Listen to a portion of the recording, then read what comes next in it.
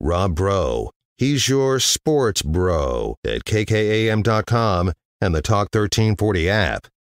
You guys are not doing any pass blocking. You're just stepping aside and letting them walk in. Pop, pop, pop, pop, pop, pop, pop. That's what I want. All of you around that ball. What's wrong with y'all? Y'all play like some little girls. Y'all like y'all never played football before. Guys are nothing. You hear me? They breathe just like we do. Yes, sir. They sweat just like we do. Do you hear me? They went through two days. We went through two days in 110 degree heat. Yes, sir. I want you to hit everything to move. If the ref gets in your way, you hit him. Okay, then let's play. But they're cheating us too. They're against us too. This is our team. This is us. Let's go right now. Let's get it off now. Let's go.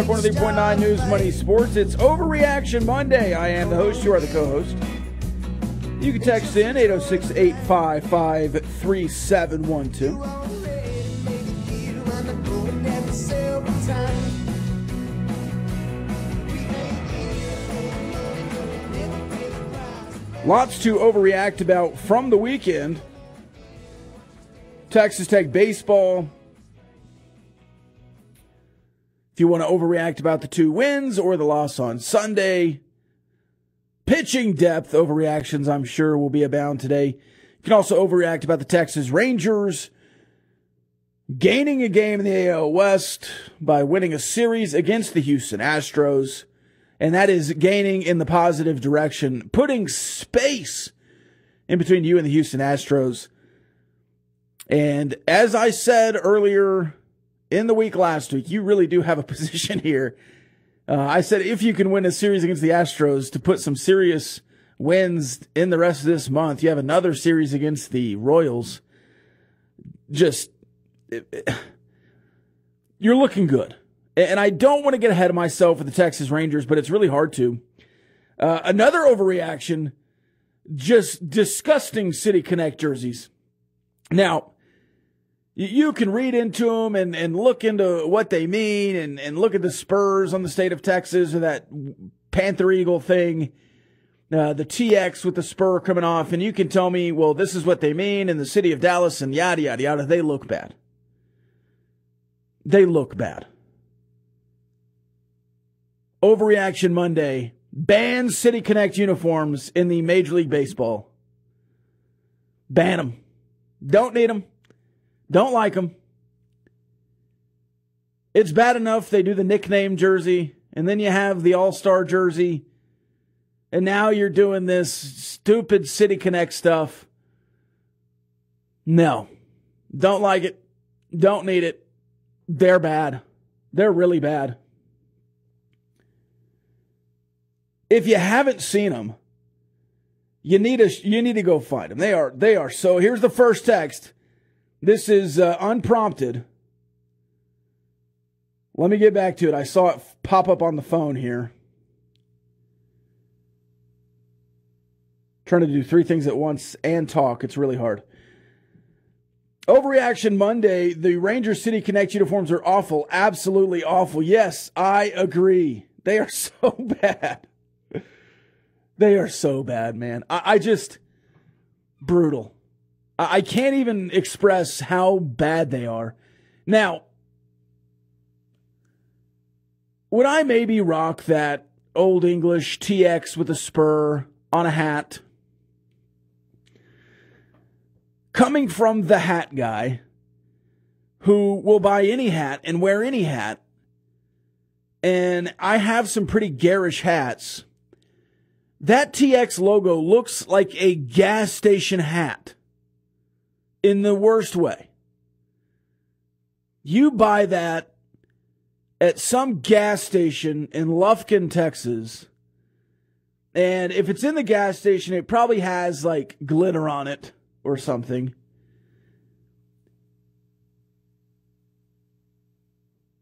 That that hat they got it from Nacogdoches, from Waxahachie, some podunk gas station in the middle of nowhere. You're just driving through Texas and you want to say you've been there. You're from out of town. Oh, Texans love Texas. We'll just get a hat with a TX on it. It looks like a softball uniform. No offense to softball uniforms. Softball uniforms and softball are great. I like the all black softball uniforms. But black pants in baseball just does not work for me. If they were the same kind of off white eggshell color all the way down in a black hat, maybe I could get behind them. Maybe. Maybe. I, I really don't like them. And you have the TX logo and the Panther Eagle. Uh, it just, I don't know. And, and maybe I do need to do some more research. I read the little excerpts they had on it today, but to me, a uniform should look good without having to be explained why it's cool. It should just look cool. And then the other stuff should be bonus. But if it's only cool because of what you read about it, what, what are we, nerds? Or baseball fans, huh? oh, man. I, I, just, I do not know about it. All right. Uh, this texture dreams of running a marathon. Sounds like a nightmare to me. Uh, overreaction Monday. Uh, the Boston Marathon, Patriots Day. They're in Boston. Uh, overreaction Monday. I'm going to try to get a marathon in before I turn 35, which is 390 days from now. That's my overreaction today. We'll see what happens. Overreaction Monday college baseball umps have too much power and too short a fuse. You could stop at baseball umps have too much power and a short fuse. That situation in Florida. If a pitcher can't scream coming off the mound anymore, what is he supposed to do? It didn't even look like the pitcher in Florida said any words. It was just a, a scream, a caveman yell. If a baseball player can't be a meathead, what is he supposed to be? I want energy. I want screaming. I want a guy stomping off the mound, two steps toward the other dugout, and then turning back to his. If you can't take that, that's on you. I don't know when's the last time I saw a, benches clearing brawl, like legit brawl in college baseball. Now they happen every once in a while, but it's not like they were overabundant last year and they're trying to correct that or keep it from happening. It's ridiculous.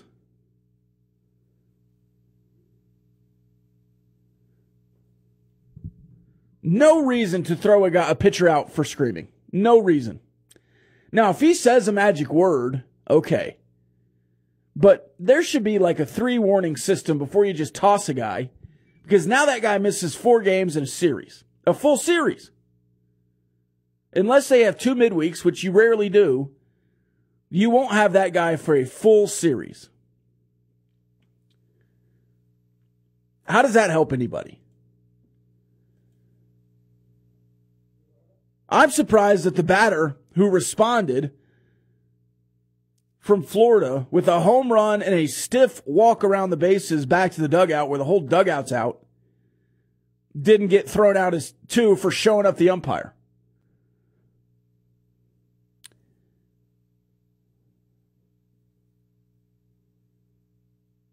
Back to the text line on the City Connect jersey. If it had white pants instead of black, it would be way better. I agree. Uh, really more annoyed that they dropped the reds for these. Yeah, they're wearing them on the 21st. I think that's Friday when they wear the Reds. So, yeah. Here's the Rangers overreaction as promised, Rob. Rangers have the ability to win the West this year. No telling if they'll actually do it, but it's completely possible. Don't sleep on the boys from Arlington. Rob, the unis aren't great, but the logo is amazing. then he says, I'm down with 90% of your takes, but the take on the hat is atrocious. It looks like a gas station hat. It's just a big TX. I'm to go, I'll go find, look, I'll go find four gas station hats. I'll find three gas station hats and the City Connect hat and put them all in a tweet and see which one people think's not the gas station hat. They're all the same. I will go find four legitimate TX gas station hats. Three, and then one the City Connect jersey, and see if you tell me any different.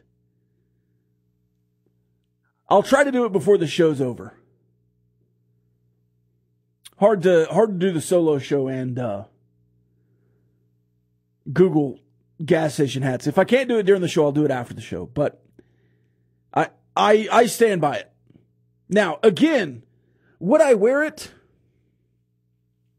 Probably. I probably would. I don't know that I would buy it because it's uh, 40 bucks, but if somebody bought me that for my birthday or uh, Christmas or something, or just as a friend, I would probably wear it around. Like I'm not ashamed to to wear it, but it, it would not be something that I bought on my own accord. I don't think. Maybe I'll like it. And and again, th- this is just like they're just putting them out there. They're just showing it right. It's just on uh, like a batter in the the studio, or it's on a table in the studio.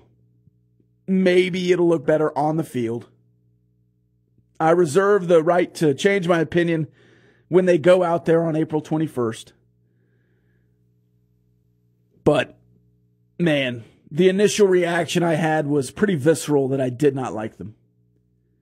It mellowed a little bit after I really looked at them, but I just I I'm not a fan. And and we can hey, we can be different. We can do that and still be friends. But that gas station hat, I will not change my opinion on. All right, let's take the break. We've got more overreactions coming, some Texas Tech baseball ones. I've got my own Rangers overreactions as well. It's the Rob Breaux Show. Talk 103.9 News, Money Sports.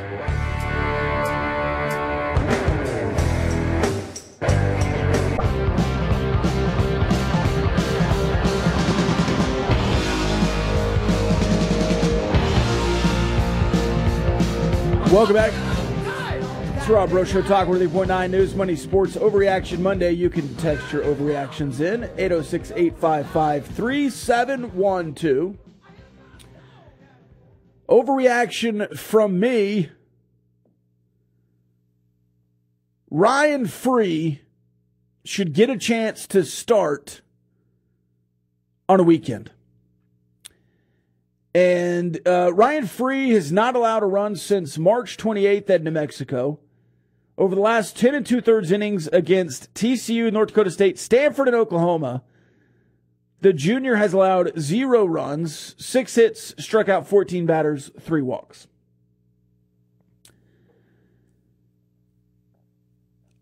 Now, generally, I want to keep relievers relievers. I do. Uh, I think it's important to have roles, defined roles. But this weekend, you saw Mason Molina move to Friday and not do well. Girton was good out of the pen. I think that's his role. I think if you can find an opener and then have Girton out of the pen, let him see the game and come in, I think that's going to be good for him. But looking at Ryan Free and what he did this weekend, he seems, right, like he's fairly extended. And if you look at some of his outings uh, against Western Illinois, two innings, but 52 pitches. Some more highs 31, 28, 35. And then he had a stretch where he went uh, 15 pitches, 4 pitches, 18 pitches, 20 pitches, 22, 17, 25. Through 25 against New Mexico. And then Against TCU, he threw 61 pitches in three full innings. North Dakota State, 17 in an inning. Stanford, one and two thirds, 36 pitches. Then against Oklahoma, five innings, nine strikeouts, 66 pitches. And maybe it's just another opportunity for an opener, and then you put in Ryan Free early. Like, just get a guy who can pitch once through the lineup. Jacob Rogers. Let's say you give Jacob Rogers one trip through the lineup, and then at whatever point that is, you put Free in and say, all right, Free, you get 70 pitches. And that's your starter, the combo. You move Molina back to Saturday and just say, hey, get you what you get you. And then Friday, you find some other opener and piggyback them. It's Trenton Parrish because Trenton Parrish has pitched well. You go Trenton Parrish and Girton. Trenton Parrish as deep as possible, Girton the rest. Then you have Beckel and whoever else available. Or you do that on Saturday and you pitch Beckel when you can, Saturday, Sunday, whatever it is. The overreaction, though, is that Ryan Free eh, should be in a prominent position in your bullpen. If it's every Saturday, it's every Saturday. But you have to figure out eh, an option. And maybe Parrish and, and Free is the group, is the guy. And Free's just the first guy out of the bullpen after Parrish. But it seems to me that if you could match up Free with somebody else who's not quite as good, and then let Parrish pitch maybe back on Sundays where you can have a guy who's going to give you a chance on a, a Sunday to pitch more than three innings of quality baseball, or at least have the fortitude to bounce back after a rough inning, which he did really, really well against TCU.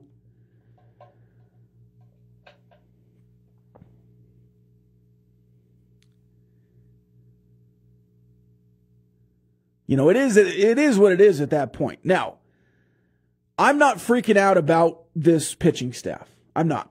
I think you have a lot of good arms. You just need to find some roles where guys are good. I think you have two pitchers who have pitched over the last week in Rogers and Dax where those two guys are kind of coming up and they are trending in the right way. And if they can extend their roles, yes, I understand Jacob Rogers left a couple of pitches out in the middle of the plate and Oklahoma smashed them. But if you're talking about a circle of trust, Girton out of the bullpen, I'm all in. Beckel out of the bullpen, all in. Free out of the bullpen, all in. Parrish as a starter, all in. Bridges struggled this weekend. I still have him as uh, in the mix. And there are some other guys that I think have pitched well. Kyle Robinson is a guy who's pitched well lately.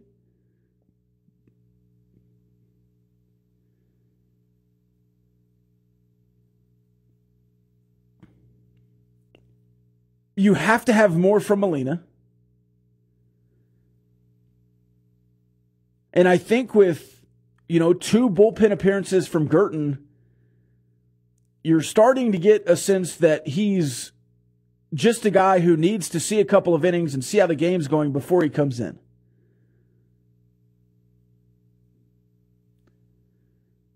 Or maybe if he knows he only needs to go four innings and he's not worried about going seven, that changes his mentality. Some guys are just better knowing they don't have to go the full game. But the overreaction here is that Free needs an extended role. And if that's as an opener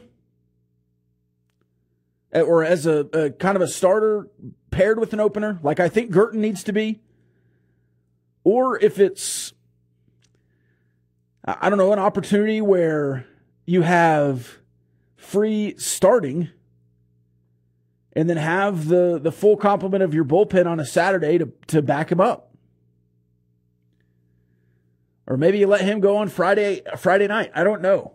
I, I don't know. I'm not the, I'm not Tim Tadlock. I don't have to make that decision. Thank God. But I do know that Tim Tadlock messed around with the lineup quite a bit for about two weeks. And I think has settled on this with Ty Coleman batting second and DHing. I think you'll see that more. Austin Green going down in the lineup, finding some success. Cash mashing where he is. Bazzell, one of the best Big 12 hitters in Big 12 play. Your best Big 12 hitter, Nolan Hester, has been really good in Big 12 play.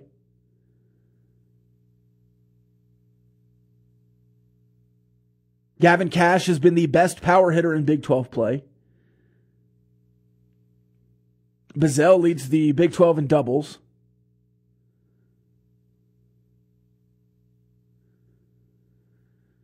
You just have to get the pitching right. This offense is good enough to be in Omaha. It is. And I think you had good enough pitching to win a regional. You just have to figure out the puzzle of putting everybody in the right role. And it's been hard this year. Now, you need Molina to bounce back. You do. And maybe he bounces back as the Sunday guy with less pressure. If you can win Friday and Saturday, that relieves a lot. Hey, just go out and throw, man. Or if you say, hey, Molina, you've got three innings. Do what you can do in three innings. If you're pitching well, we'll leave you in. If not, we're prepared to not have you throw more than three. I don't know if that helps or hurts, but the overreaction here is that Free has been really, really good. And I think can be a guy in either long relief or as a starter with an opener or as a starter by himself can really help this pitching staff down the stretch with four more Big 12 series. If you could get five or six innings out of free every weekend, you're going to be a lot, lot better. All right, let's take a break. When we come back, more overreactions, back to the text line, and more. It's the Rob Breaux Show. Talk 103.9 News, Money Sports.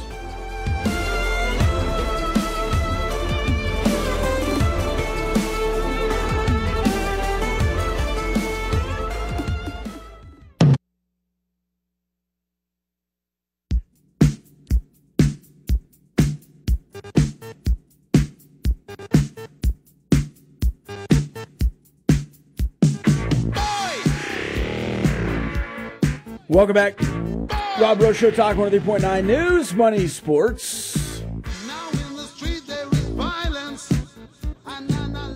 The Texas Rangers won a series against the Houston Astros.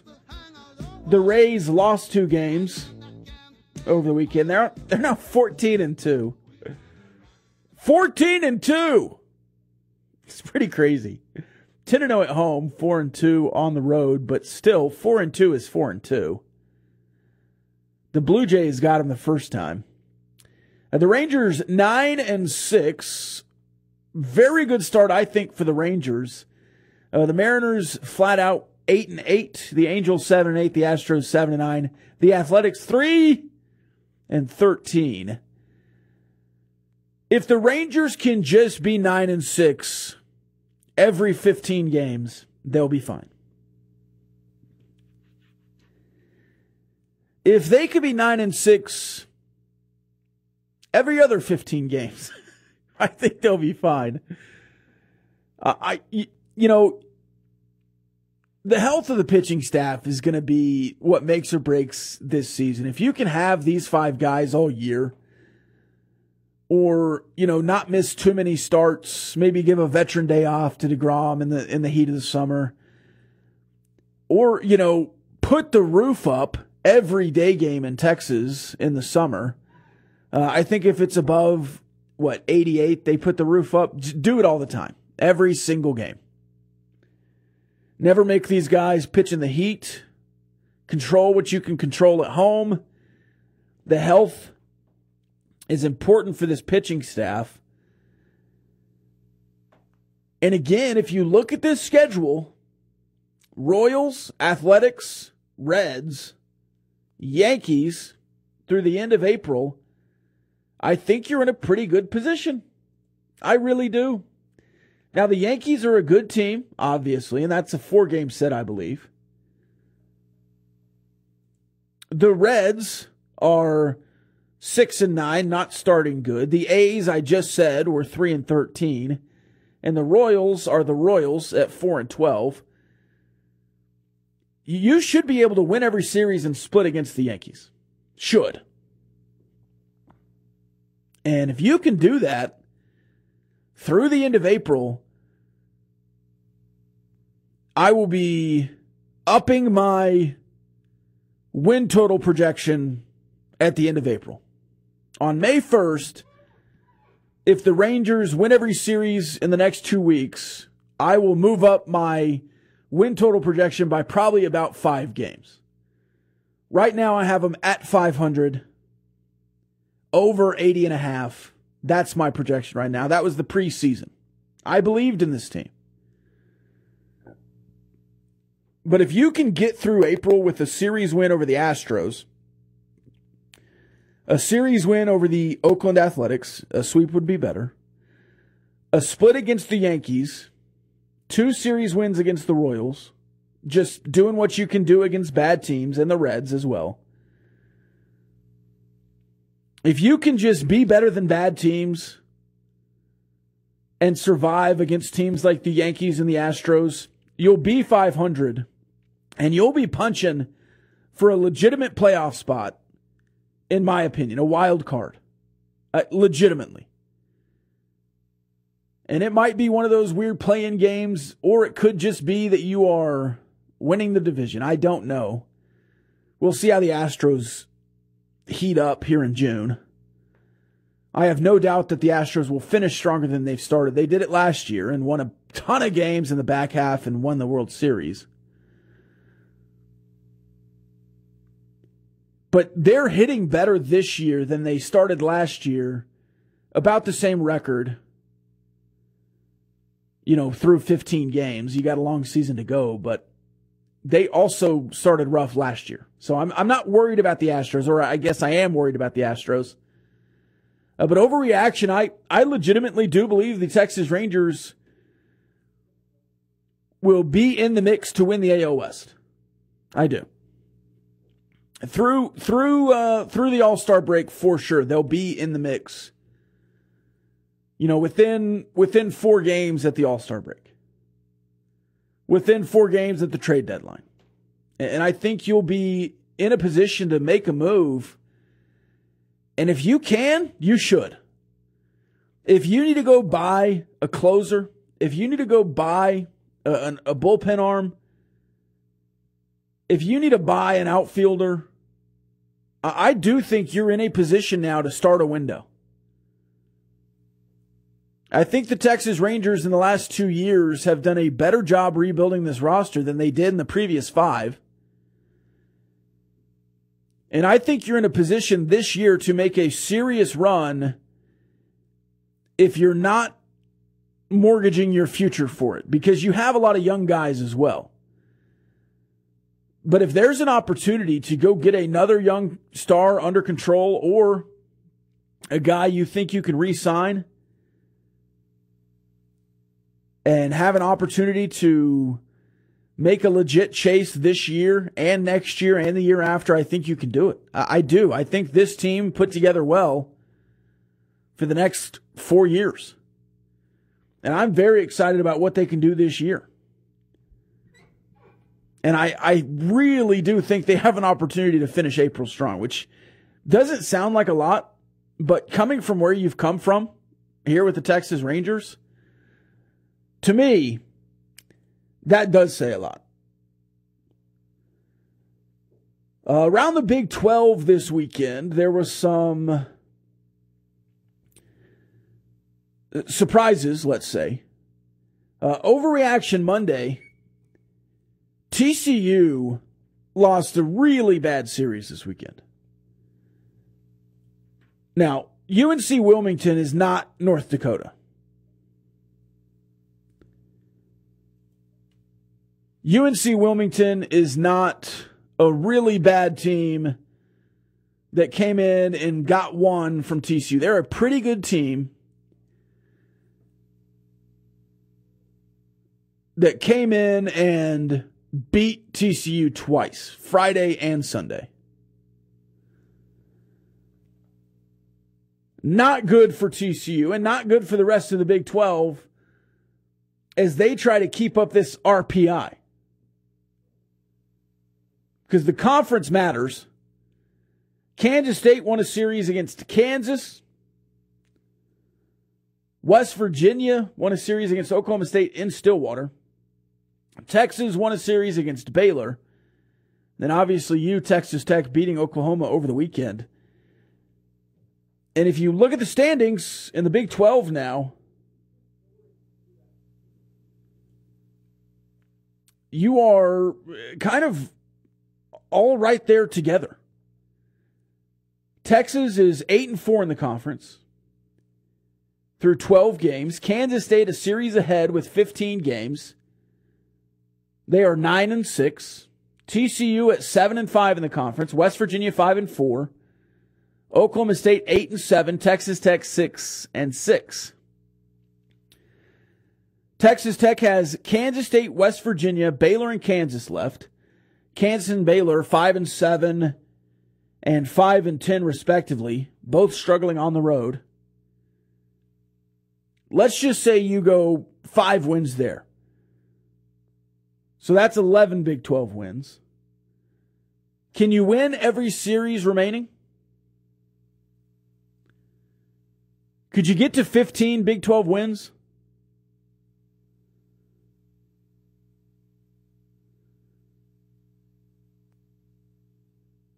Texas still has to go on the road to TCU, which obviously this weekend they lost in Fort Worth, so it's not crazy to say that they'll lose another series in Fort Worth, especially to Texas. Kansas State still has to play the top half of the Big 12. West Virginia has played a couple of the top teams, but they still have to play Texas Tech and Texas.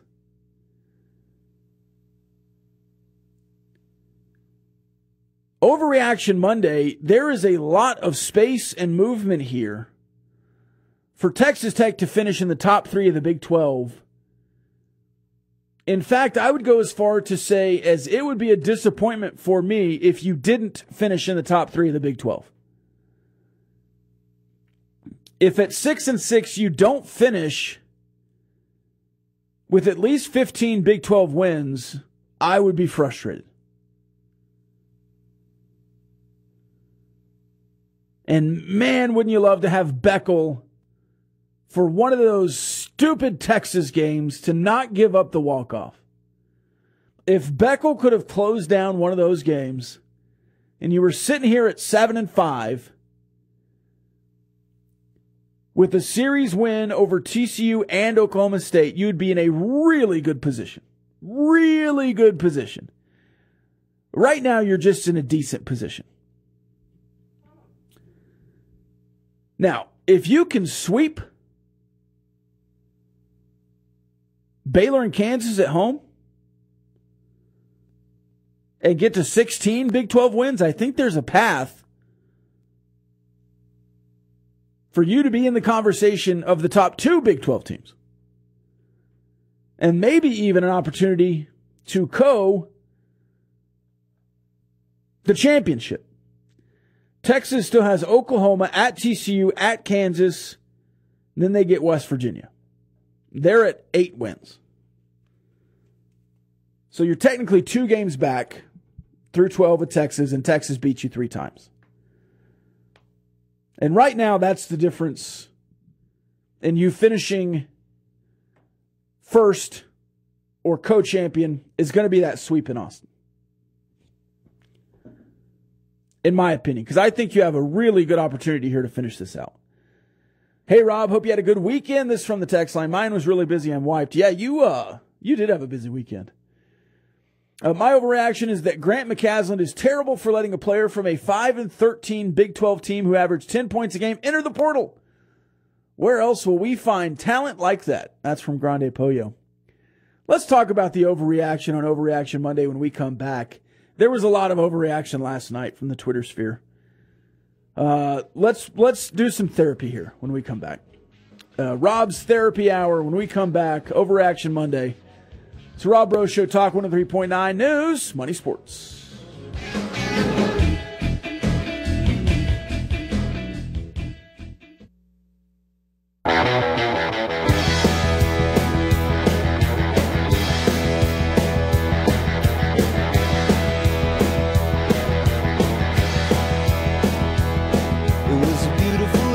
Welcome back. It's Rob Breaux Show Talk 103.9 News, Money Sports.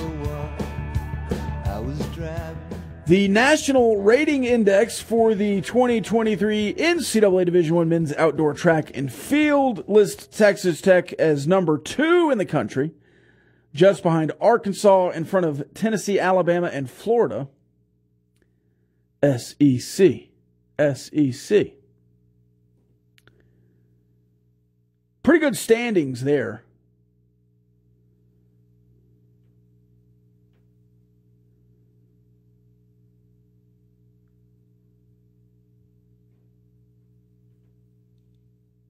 I uh, do want to talk about Jaylon Tyson, and we talked about it at the end of the Raiderland, and and we talked about it at the beginning of the Raiderland, and we'll talk about it again now. I, I just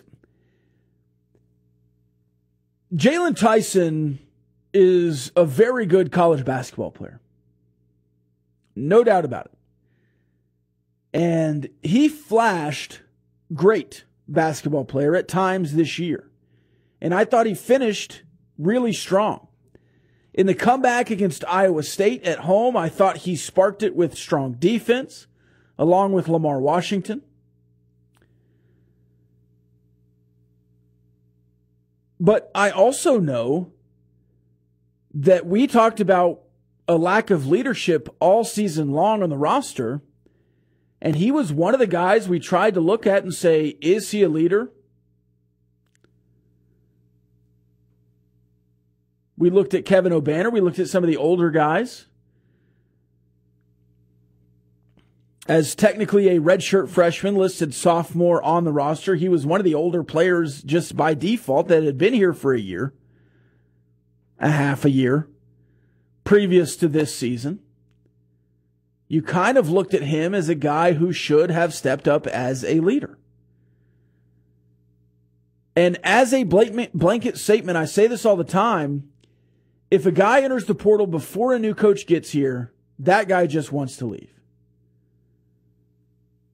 If a guy enters the portal after a new coach comes into town, it is probably fairly mutual. I have no doubt that Jaylon Tyson enjoyed being a Red Raider. And if all was even in the world and you lived in a vacuum, Jaylon Tyson would probably return. The problem is the world is not lived in a vacuum and the, lo- the world is not lived even. And it was probably a really tough conversation between McCasland and Tyson that led to this. Now, I, I'm not aware of the inner workings. I wasn't in the room. But this certainly feels like a situation where there is a certain amount of mutual parting of ways here. Whether that system, whether that's what McCasland heard, whether that's what McCasland saw on tape, whether that's the conversation that Tyson and McCasland had one on one.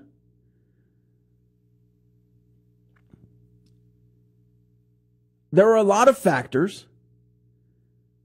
And the problem is in today's college basketball, regardless of the free transfer rule, everybody's on a one year contract. And if they think they can be in a better situation, they'll leave.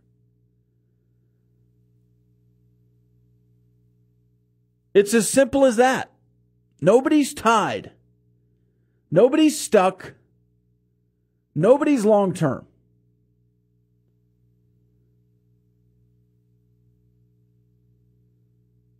Am I worried about Grant McCasland on April 17th, 2023? No. Am I apprehensive that a staff has not been filled out? Yes, kind of. growing apprehension for sure. But does one player make a roster? No. Does one player warrant the amount of freakout that was seen last night on Texas Tech Twitter? No. He doesn't. The phrase trust the process is way overused. And I don't know if McCasland will be successful or not. But I will give Grant McCasland a long, long leash this offseason to clean house and create his own culture because quite frankly, you had too much Chris Beard over the last two years still in the program.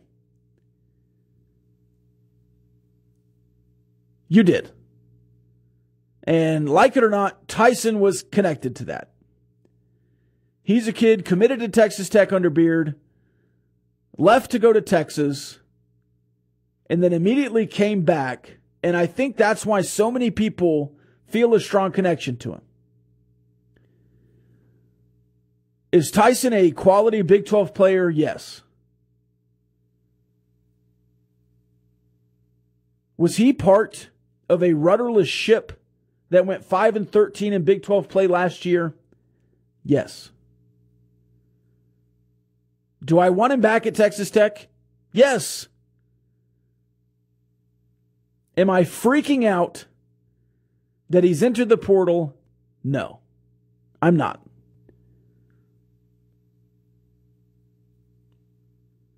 And I'm not saying you shouldn't. You can react however you want to. But it is just kind of funny to me that people allow college sports to control their emotions like they do sometimes. And I know Twitter is a place where feelings get exaggerated and either you tweet some things that you don't really think to just get a reaction or you have a thousand people tweet something and it feels like the whole fan base, but you have 300,000 living alumni, so a thousand is a really small number.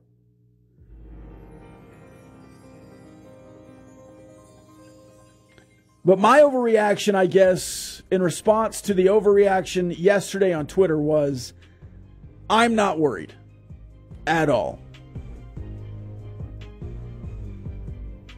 At all. One player does not make a team, especially in McCasland's system. All right. That's the show. That was Overreaction Monday. We'll have more tomorrow on a Tuesday. Got about two weeks left in April. I think we'll probably have an announcement for you next Monday. We'll have some, uh, it'll be a really good overreaction show next Monday. Let's say that. We got a full week of shows before then. Let's have a strong week. I hope you all have a great week. And remember, Mondays are one seventh of your life. Don't waste them being miserable the Rob Breaux Show. Raiderland tomorrow, 11 a.m. I've been Rob Breaux. I'll be Rob Breaux. We'll see you then.